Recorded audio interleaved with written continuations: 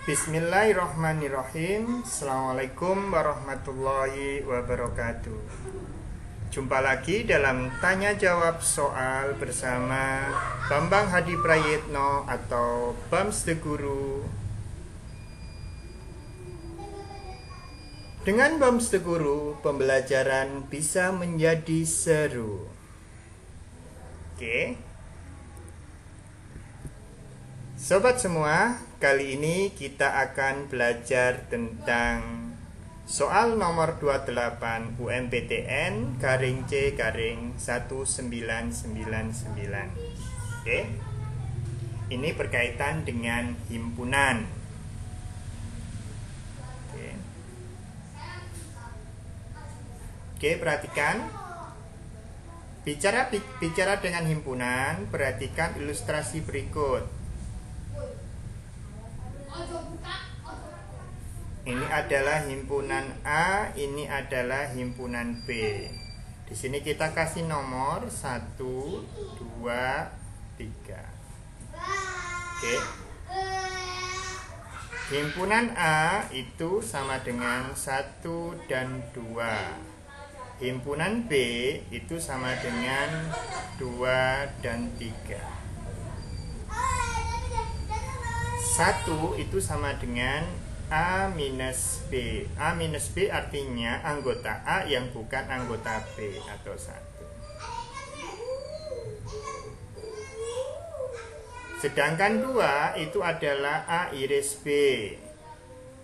A iris B sama dengan 2 Sedangkan 3 itu sama dengan apa? 3 adalah anggota B yang bukan anggota A Berarti B dikurang Sedangkan sama dengan 3 ya. Sedangkan yang terakhir adalah A union B. Itu berarti digabungin semuanya. Berarti 1, 2, dan 3. Oke. Nah, dengan demikian Sobat Pamstu Guru semuanya N A union B itu kan berarti sama dengan N. A minus B yaitu 1 ditambah N. A iris B yaitu 2 ditambah N B minus A atau T 3 Oke. Dari soal diketahui NA union B sama dengan 50 Oke NA minus B sama dengan X kuadrat. NA iris B sama dengan 3X Sedangkan NB minus A sama dengan X plus 5 Oke ya. Mari kita sederhanakan Berarti 50 itu sama dengan apa? Sama dengan X kuadrat 3X ditambah X berarti plus 4X plus 5 Nah kalau kita jadikan kebersamaan kuadrat atau PK maka X kuadrat plus 4X ya minus 45 sama dengan 0 Oke, kita gunakan untuk kuadrat sempurna ya. Di sini kan bentuknya genap, jadi gampang. Berarti ini kita bisa ubah menjadi x kuadrat plus 4x ya plus 4 gitu ya. Nah, di sini min 45 berarti harus dikurangi 49 sama dengan 0 supaya tidak berubah soalnya. Nah, ini sudah adalah bentuk kuadrat sempurna dari X plus 2 kuadrat. Min 49 sama dengan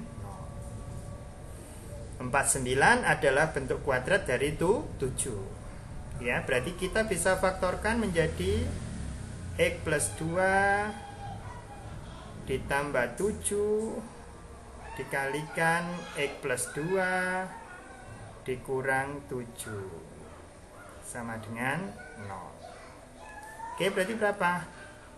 X plus 9 yang di sini adalah X min 5 Oke ya. Kalau Sobat Bom Seguru bisa langsung memfaktorkan silakan.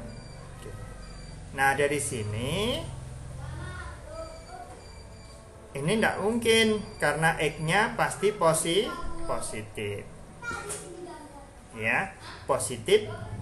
X-nya pasti positif. Dan maksimal uh, minimal 0 ya maka yang ini tidak mungkin sama dengan 0 ya. Ini kan berarti X sama dengan negatif 9 kan berarti tidak mungkin ini. Tidak mungkin ya. Tidak mungkin. Atau X sama dengan 5 nah ini yang oke nah sekarang anggota A itu siapa aja? Satu dan dua. Oke. Satu itu adalah A min B. A min B adalah X kuadrat. Ya. Berarti di sini ya.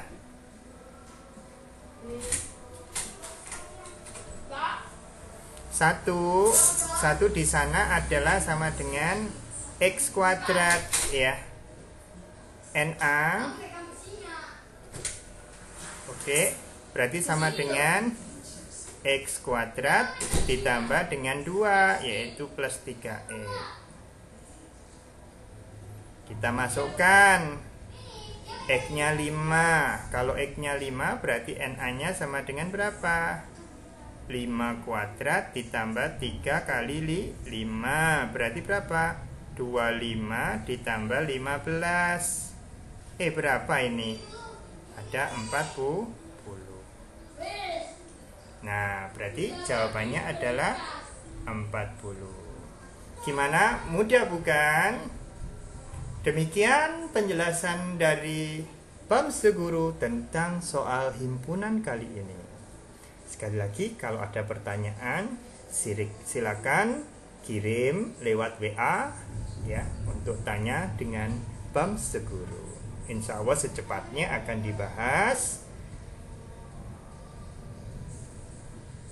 dengan cukup mendoakan Pak Bambang atau Bam Seguru agar diberi kelimpahan rizki, diampuni kesalahannya, diberi kesehatan, iya. Bapak ibunya Pak Bambang diberikan kesehatan, amal ibadahnya diterima dan kesalahannya diampuni. Itu aja sudah cukup bagi Pak Bambang. Oke, kita jumpa lagi pada video selanjutnya. Sekali lagi, saya tunggu pertanyaan dari para sobat BAM Seguru, para pejuang UTBK, para pejuang orang yang ingin belajar tentang matematika. Sekali lagi, terima kasih telah menonton video ini. Assalamualaikum warahmatullahi wabarakatuh